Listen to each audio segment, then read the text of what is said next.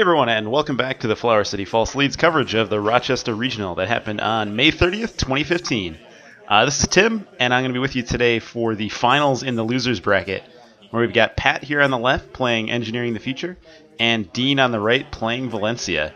Uh, and we just saw Pat in the last round beat out Rob to get here, and Dien a few games ago dropped a game to Ben to land himself down in the losers bracket. And so, of course, engineering the future, getting that credit every time they install a card, uh, gives them a pretty robust economy, along with all of the Eve campaigns and Adonis campaigns and all that stuff. And then on the other side, Valencia, who of course starts with that bad pub, so makes her runs very efficient, lets her have blackmail online straight away, and so makes things a little challenging to get down into remotes unless you've got an Ash or a Caprice or something like that protecting it. So Pat just icing up essentials, getting a little bit of money, and likely either waiting for his kind of fast advance pieces if he's doing that, or ways to defend his remotes from blackmail. And Dien just playing out a bunch of econ operations, getting Kati Jones going, so he's pretty well set for a little while here.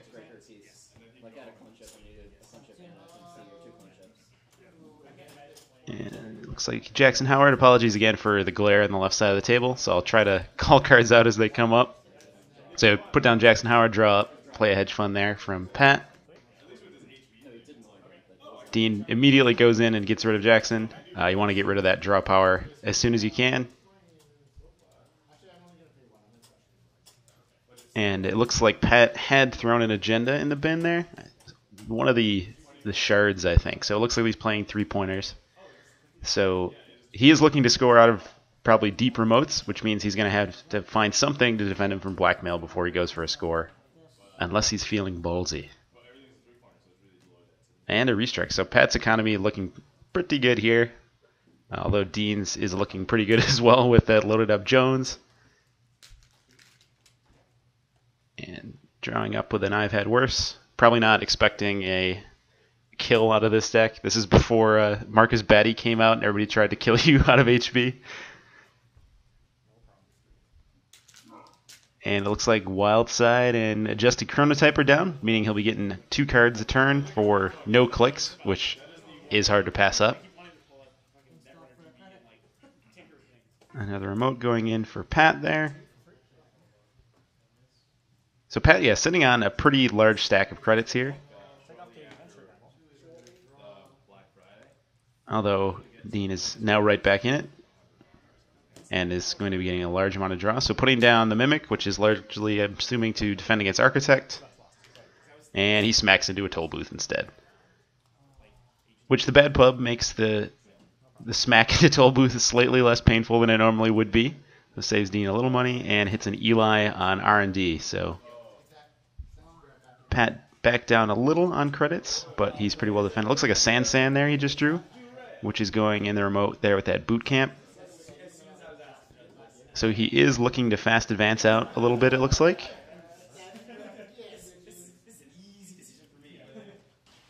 That's what I found usually when I'm playing HB is you can score an agenda or two in a remote, but at some point you usually have to advance, fast advance something out with either Sansan or Biotic Labor.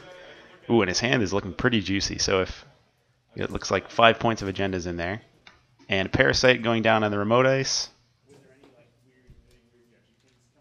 And then just dirty laundering archives.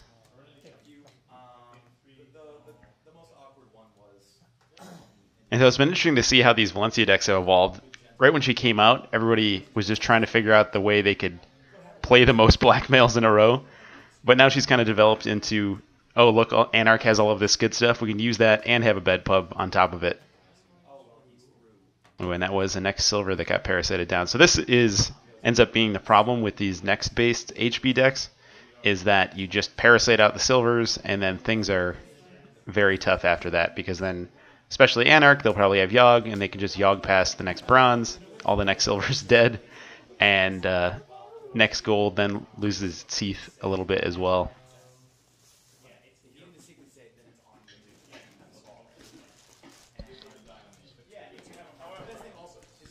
clone chip comes down and he does blackmail the remote likely looking to just clear out whatever is sitting there he knows it's not an agenda because there's that boot camp sitting there but does want to get rid of whatever is being dropped into there.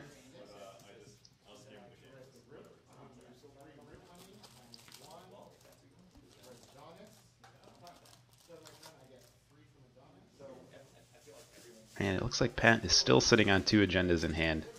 But he does have a toll booth sitting in front of there. So Dien would either need to burn it down with a parasite or get his Yog up and a whole bunch of data suckers. And decides to get rid of the boot camp as well. Which now that he knows Pat's playing Sansan seems like a, a pretty fair fair bet. And yeah, he has two boot camps, which is going to make life a little rough for Valencia here. So he's able to get a toll booth up on the remote over there and drop something in, which is likely the Vitruvius we saw in his hand earlier. So things looking pretty good for Pat right now. Dien drops the Parasite immediately onto that toll booth, knowing that eventually he's going to want to burn it down. Looks like he has a Data Sucker in hand. and that Atman. So uh, he's a little low on money. So otherwise it would probably be tempting to drop the Atman and go for it. Instead, puts down a data sucker, runs archives, hits an architect, has the money, uses bad pub there, grabbing up some data sucker counters.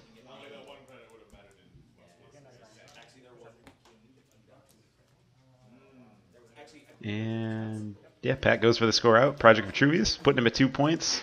He is a little low on money, and his ice is rapidly burning down here. Uh, so this is usually how Valencia operates. You give away an early agenda, maybe, unless you have a, a blackmail way to get into the server.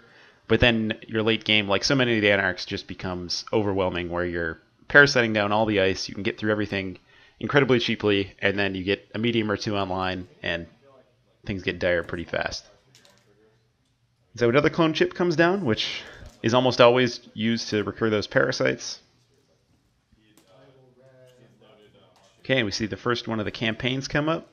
That's the Eve campaign, which against Valencia is a little less rough to take down uh, because she's got that bad pub. So four credits to deny them 14 credits seems like a pretty fair trade. And something else drops into that remote. I couldn't see quite what it was. I don't know if it's another agenda. Although that would be pretty risky at this point since the toll booth is going to burn down in the near future.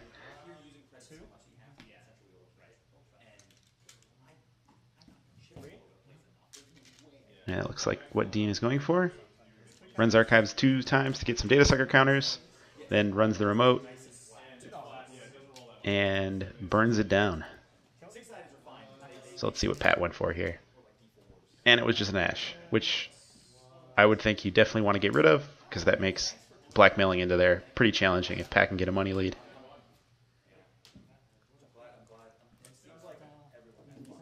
So that's kind of the double-edged sword of the the boot camps here is that they let you res up the ice so that you can't get blackmailed on, but then once the ice is resed, it lets uh, Dien drop a parasite on there. Oh, and cannot do that. I, I attempted to do the same thing myself during the tournament. Someone had gotten a knight onto uh, an architect. I was like, aha, I'm getting rid of this guy's knight. And then he pointed out that that was impossible, and I, I was sad.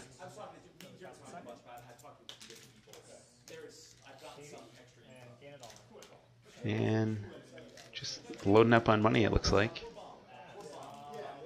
And Pat pops up a Mother Goddess with the boot camp, which at this point has all of the ice subtypes. So he will get through it. Dien will get through it in the most efficient way he can.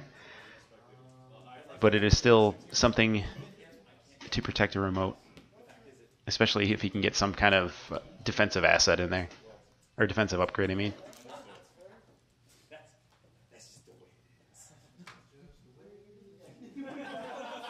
Unloads Jones. Sure gambles up. Let's see prepping here.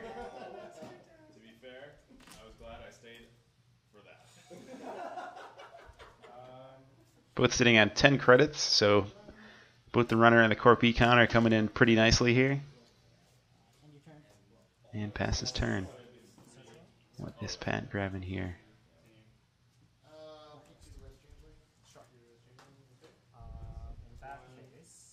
Yeah, again, sorry about the glare here. I did not realize until after the fact that we were sitting directly under a fluorescent light here.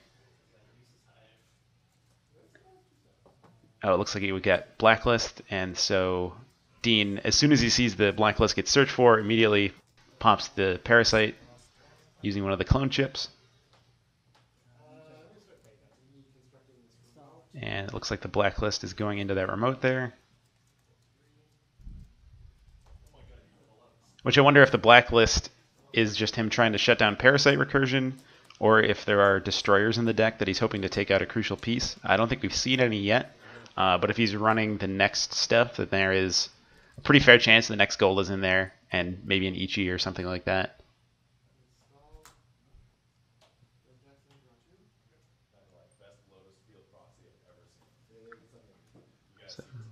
Dien looking like he's sitting on an Atman, a Data Sucker, Corroder, and a Medium, a couple other things in hand. So he could have, so he drops the Atman at 4. Uh, looks because the, there's a Mother Goddess on the table, there's an Eli. Uh, if more toll booths come up, it takes just a single Data Sucker counter to get it down to the Atman range. And just HB in general runs a lot of strength 4 ice. So always a good call sending it at 4 against HB. So straight away runs in, trashes the blackmail so that he can get those parasites going again.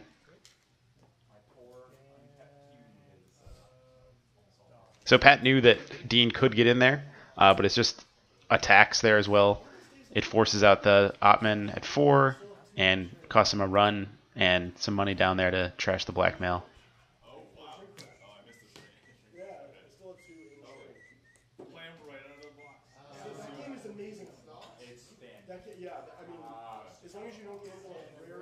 Okay, and he drops what I think was a Project Vitruvius into the remote there. Daring, daring Dien to see whether he has a blackmail in hand or a way to get it back. And it looks like he does have a Deja Vu there. So, yep, Deja Vu's to get black the, back the blackmail and throws it on that server. He knows he can get through the Mother Goddess at the bottom. Oh, yes. And yeah, so we see the blackmail on the remote. Can't res, breaks the Mother Goddess with a bad pub, and steals Vitruvius for two points. And so this is always the quandary against Valencia is you can't play the entire game like she has blackmail in hand, but you have to be aware that it's always a possibility, I suppose. Uh, oh, and that was a, an NAPD, which Pat immediately drops into the remote there. And again, the bad pub means he does have to advance it five times the score, so that's why we see him drop the double advancement there. And Dien is at fairly low money. He could, I guess, recur the, the blackmail again if he can draw into a deja vu. Oh, he draws directly into a blackmail. But, yeah, I guess at this point, though, he's not sure that's an NAPD because the uh, the bad pub, it could be an NAPD or it could be any of the three-pointers that we know Pat is running. And so this is likely what Dien is thinking about here, of whether he should blow a blackmail here when he might not be able to steal at the bottom. But he goes for it. And ends up one credit short because he uses the bad pub to break the Mother Goddess. So that was the perfect window for Pat to draw an NAPD there off the top. If that had been any other agenda, that would have been a very risky move. And that Adonis, he's uh, Dien has let that Eve there just tick all the way down, so that's giving Pat a lot of nice economy, and he scores out the NAPD.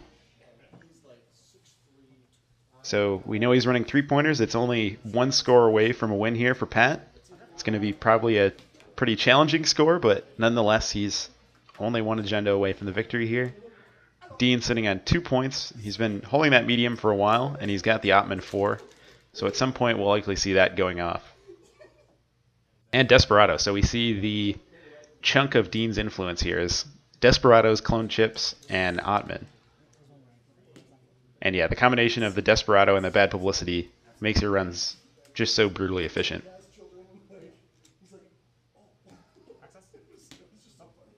And runs R&D. Looks like he clicks through Eli. Oh no, it does not click through. Yeah, the bad pub and the Desperado means he can run R&D for free. And then runs and burns down the toll booth on HQ. and that's an Eli, which at this point, yeah, is does not do a whole lot for Pat since the the Atman 4 is out, the Bad Pub, the Desperado.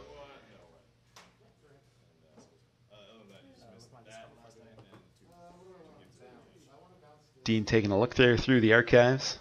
Anarch, of course, running has a lot of recursion in faction, and they almost always import clone chip. Clone is one of those cards I feel like was almost an Anarch card, but they had to make it in another faction so that all Anarchs couldn't just have that plus everything else.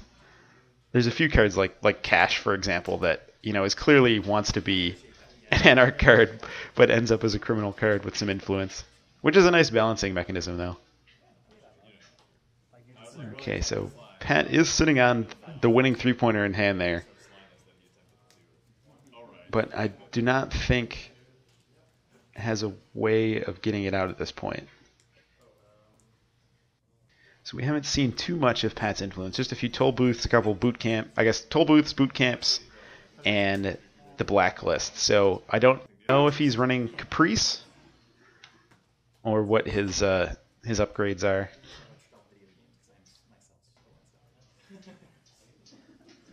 Okay, so Dien's still getting that lovely Wyldside Pancakes free two. And running in an R&D.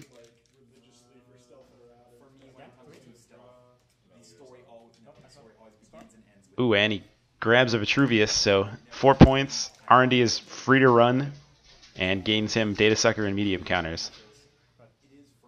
So at this point for Pat, he's yeah, he's got a got a R&D. There is no other option. And Dien is sitting on two. He will be at six with the daily cast. So again, installing into the remote is tough since it'll now be a win for Dien as well. And just shoring up R&D. Yeah, you got to play to not lose first as the corp before you can play to win, I suppose. So Pat shoring up his defenses. Not throwing on H anything on HQ, likely to try to draw Dien away from there since the winning agenda is in hand. And he goes straight in on R&D. Pops the clone chip for, I'm guessing, a Parasite. Using the bad pub.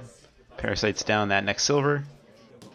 And smacks headlong into a next bronze, which at this point he can't get into.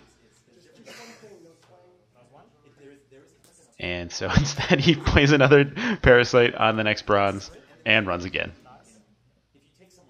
So yeah, the, the Parasite recursion engine is humming like a top and still getting free R&D access, building up medium.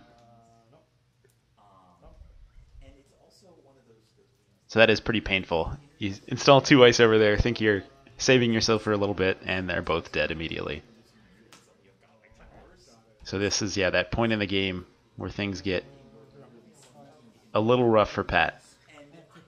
Okay, but that is a, a next silver that gets to live for a little while on HQ. And looks like he's puts a Turing over R&D, which is not ideal, but it's what you've got to do when he doesn't have any way to break code gates.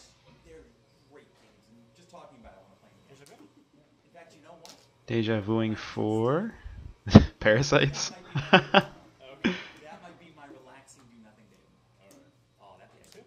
parasites silver runs and this could be the game, one and two to end the game here. And he hits the Eli instead. Luck is on Pat's side for oh, but it goes in dirty laundries in. So again, one and two for the game, and that's it. So Dien takes home the victory here. Pat was looking good initially, got up to an early lead, had a remote set up, but then the parasites just got online and runs got very efficient for Dien.